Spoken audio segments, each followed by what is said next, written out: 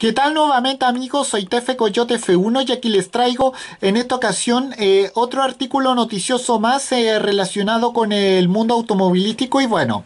como sabemos por primera vez se fabrica en España eh, un, un, combustible llamado Biojet y que es un combustible en base a biomasa. Bueno, el objetivo es es crear este combustible que disminuya la mencionada huella de carbono y bueno, vamos a hablar un poco de aquello. Bueno, el año 2019 marcó eh, los 10 de que la Unión Europea ha comenzado eh, a promover uso de energía renovable en el transporte a través de la Dirección Directiva de Energías Renovables TER en el año 2009. Bueno, fue en ese año cuando la mencionada DER1, luego vendrían más, planteó como se planteó como objetivo conseguir que el 10% de la, de la energía que se utilice debería ser renovable para 2020 en cada Estado miembro de la Unión Europea. Sin embargo, la falta de criterios de sostenibilidad adecuados como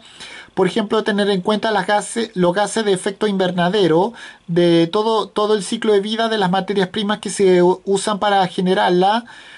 ha dado al traste esta, esta previsión. Bueno,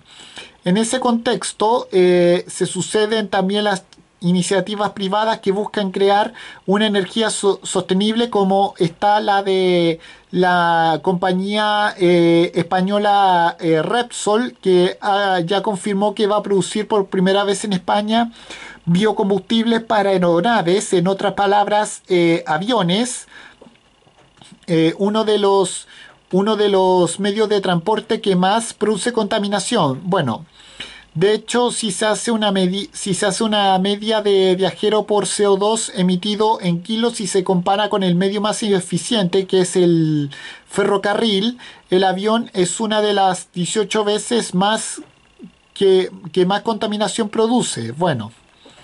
ante esta situación son muchos los eh, pasajeros que reclaman la información en lo referente a la contaminación que emiten los mismos aviones en los que viajan y, desde la Unión Europea en concreto el regulador europeo de seguridad aérea, según eh, dice el medio La Vanguardia, está eh, estudiando clasificar a los aviones con una etiqueta medioambiental según su nivel de eficiencia, como ya ocurre por ejemplo con los automóviles o con los productos que son electrodomésticos. Bueno, otra solución es que los aviones utilicen un combustible menos contaminante y es aquí donde Repsol interviene dado dado ha completado con mayor éxito la fabricación del primer lote de biocombustible para aviación del comercio español. Bueno, con ello eh, se avanza en la producción de combustibles con menos huella de carbono, de momento para el sector aeronáutico donde la electrificación no es viable eh, hoy en día. Este combustible llamado Biojet eh, se produce eh, en el complejo industrial de Repsol en Puerto Llano, precisamente la ciudad real, aunque el objetivo es, eh, producirlo también con otras plantas y usar para ello residuos. Bueno.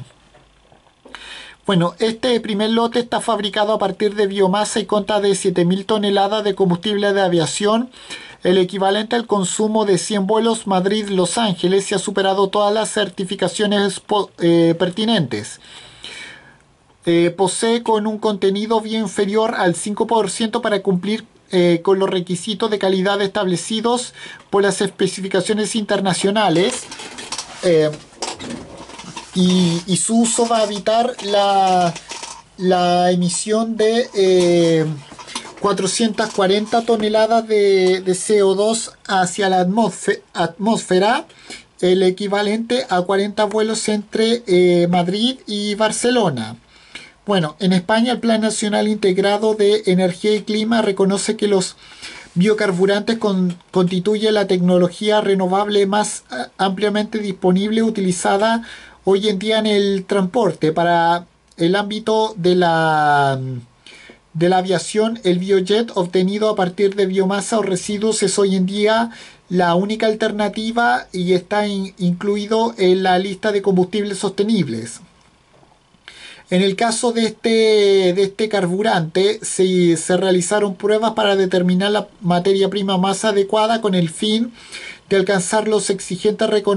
requisitos del eh, Jet A1 en cuanto a comportamiento a bajas temperaturas y controles adicionales de calidad. Bueno, asimismo